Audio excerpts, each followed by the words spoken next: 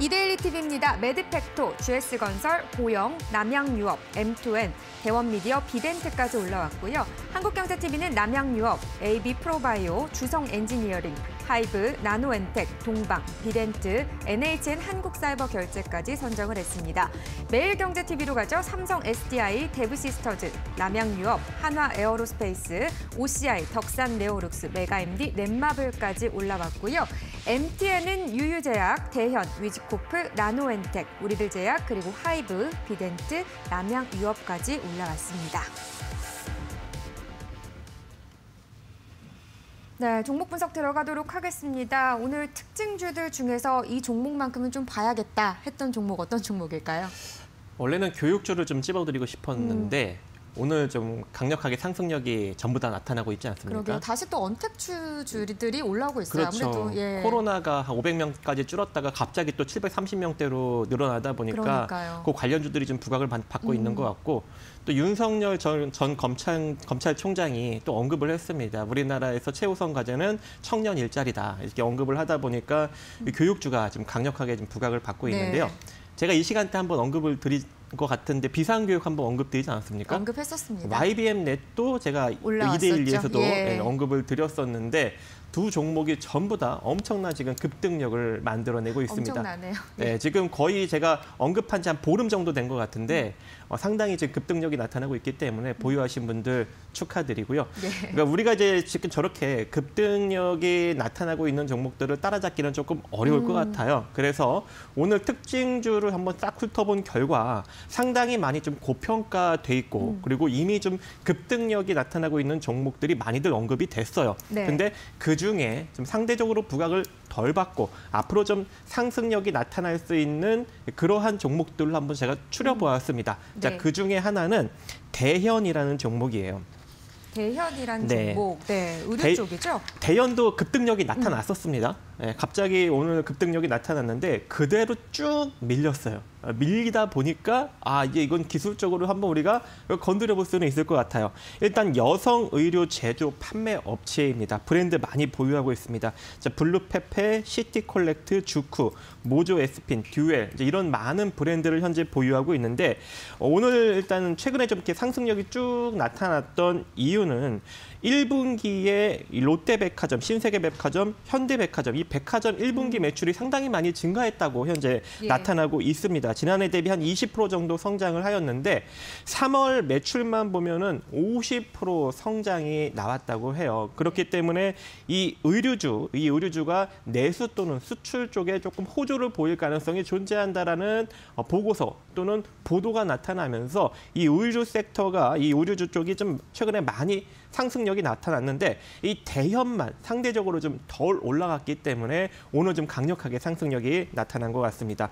근데 이제 우리가 지속적으로 긍정적으로 볼 수 있는 이유가 있습니다. 대현 같은 경우에는 어, 2019년까지만 해도 한 202억의 영업이익을 올리고 또 어, 거의 매출액도 3천억 가까이 내던 기업이었는데 2020년에 매출액이 2,500억, 영업이익이 71억으로 상당히 많이 감소하였습니다. 근데 2020년 12월, 아, 즉 4분기부터 2020년 4분기부터 갑자기 이제 영업이익이 증가하면서 다시 이제 정상적인 궤도로 올라서고 있는 단계이기 때문에 특히 이제 2021년에는 정상적인 영업이익, 즉 한마디로 2019년만큼의 영업이익을 다시금 또 추, 만들어갈 수 있는 즉 실적 turnaround 기조가 나타날 수 있는 어떤 그런 기대 심리가 현재 반영이 된 것 같고요.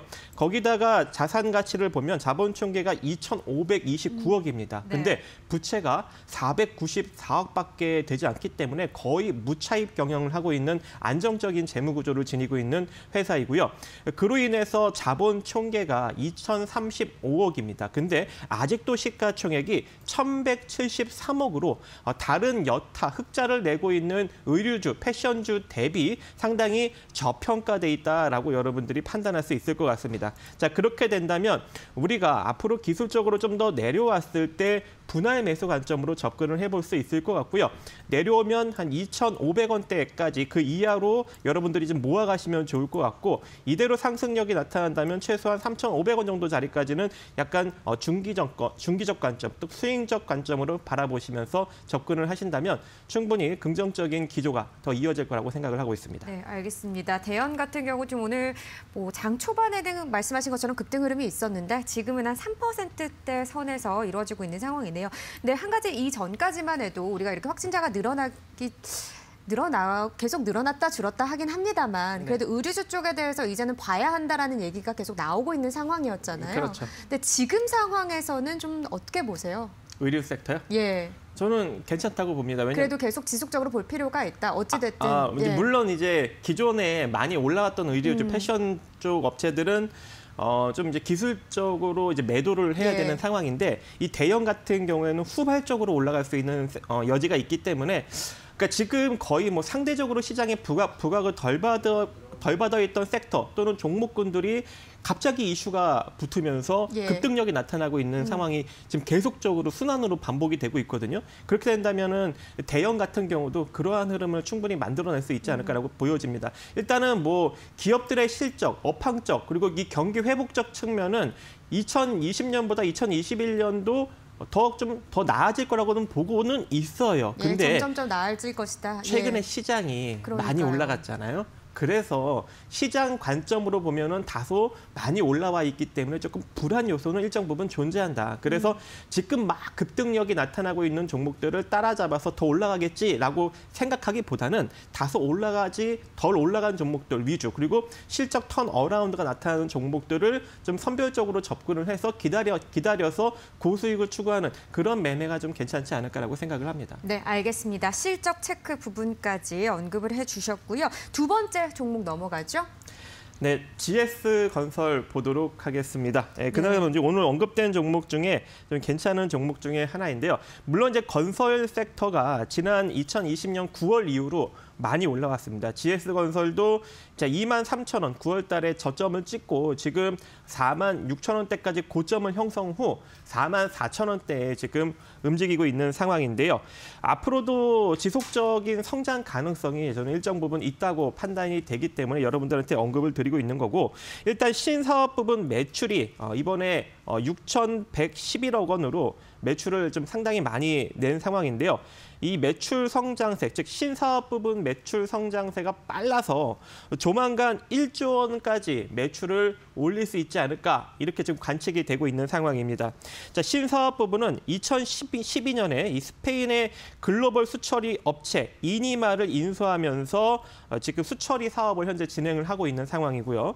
거기에 2019년에는 태양광 발전 사업에 진출을 했고 엘리베이터 사업까지 그 영역을 넓히고 있습니다. 즉 기존에 어, 하고 있던 건설 사업과도 일정 부분 시너지 효과를 현재 만들어내고 있는 상황이고요.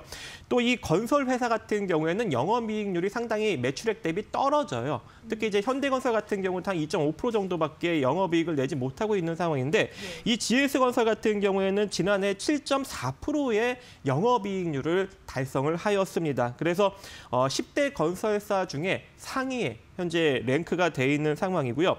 또 이 지분 구조를 보면은 허창수 회장 17명 특수관계인이 이 GS건설 지분 25.5%를 현재 보유하고 있는데 즉 지주회사에 속해 있지 않다 보니까 이 허창수 회장 개인적인 생각을 빠르게 반영을 하고 할 수 있는 이 빠른 의사결정이 또 메리트다라고 판단이 됩니다. 그래서 대형 건설사 중에 GS건설이 지금 빠르게 이 변화를 지금 모색해가는 그런 기업 중에 하나다라고 볼 수 있을 것 같고요.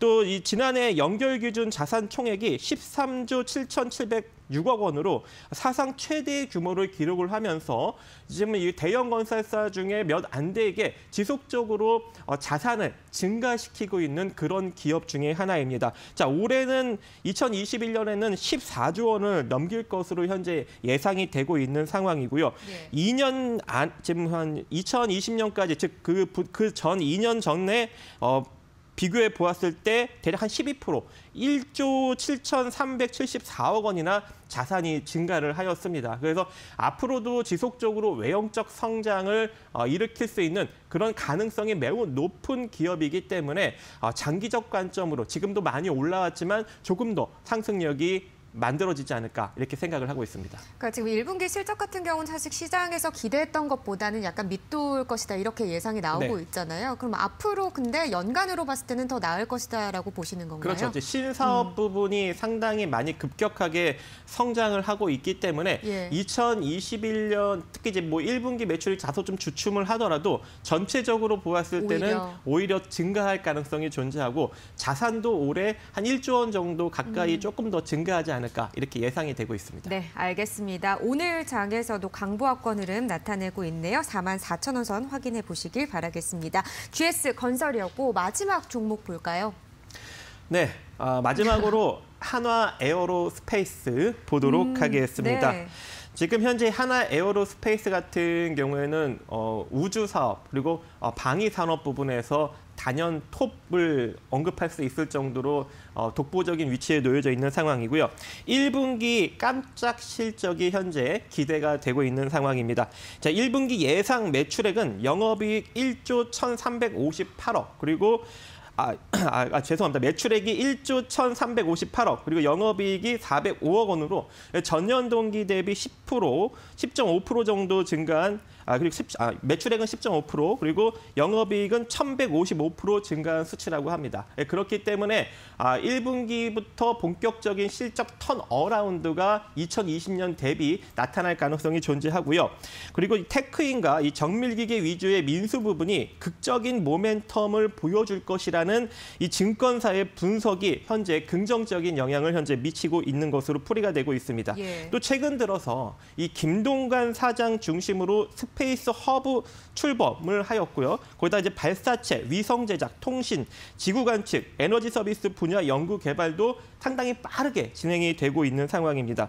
또 위성 시스템 업체 세트렉 아이 지분도 최근에 인수를 하였고 하나 시스템 계열사인 하나 시스템인 경우 위성의 눈, 이 전자과학 적외선 고성능 영상 레이더 기술을 현재 보유하고 있기 때문에 어, 앞으로 이제 우주 이슈가 나올 때마다 가장 강력하게 부각을 받을 가능성이 존재하지 않을까 이렇게 생각이 되고 있고 또 이 한국 항공우주 이 KAI를 원래는 어, 인수를 하려고 했었는데 이번 정권에서 문재인 대통령님이 좀 이, 이, 이 K- 한국 항공우주를 민간으로 넘기기에는 다소 좀 적합하지 않다라고 판단을 하고 있기 때문에 예. 다음 정권에서는 인수를 추진하지 않을까라고 또 예측이 되고 있습니다. 그렇기 때문에 어, 장기적 관점에서는 이 한화 에어로스페이스가 어, 성장 가능성이 좀 높지 않을까 이렇게 보여집니다. 네, 지금 뭐 한화 에어로스페이스 같은 경우는 지난 한 2월 초쯤이었나요? 1월 말 뭐 이때 한 고점 한 4만 6천 원대를 찍고 그 다음부터는 사실 약간 횡보하고 있는 그런 네. 구간이잖아요. 말씀하신 것처럼 키움증권 쪽 리포트 나온 거 보니까 거의 목표 주가를 한 18% 가까이 올렸더라고요. 네, 저는 이제 개인적으로 예. 음. 어, 한 4만 1,400원, 지금 현재 4만 1,500원 정도가 돼 있는데요. 자, 4만 1,400원 밑으로 주가가 밀리지 않을 경우, 예. 자, 이 상태로 상승력이 나타나면 4만 7,600원짜리까지 스트레이트로 상승력이 어, 나타나고 예. 여기서 이제 시세가 이제 본격적으로 살아나기 시작하면 최소한 5만 5천 원대까지는 가지 않을까 이렇게 개인적으로 어, 판단을 하고 그러시군요. 있습니다. 네. 일차적으로는 47,600원, 키움증권에서는 5만 3천 원 선까지 봤는데 그 이후도 이상도 네. 갈수 있다라고 또 긍정적인 시각을 이야기를 해주셨습니다. 한화 에어로스페이스도 함께 참고해 보시길 바라겠습니다. 오늘 말씀 여기까지 듣겠습니다. 고맙습니다. 네, 감사합니다.